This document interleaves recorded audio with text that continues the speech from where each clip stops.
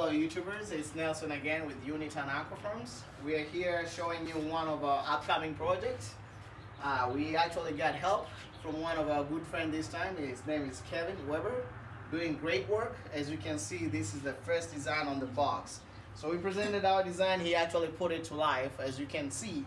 Uh, so what you see, you see the base and our grow bed, and you will see a finished product right here under this video uh, once we actually have the system up and running. So this is just the shortest side of the whole system, one side. And Leia over here is going to show you how easy it is to pull.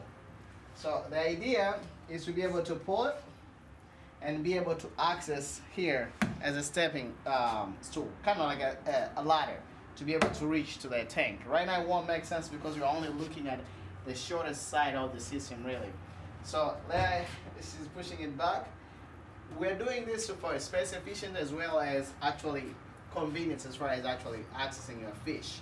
So we want to design something that is different, that is not there.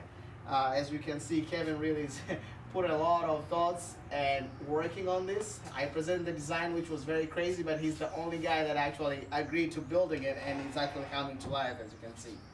So thank you very much. Please stay tuned. Don't forget to subscribe.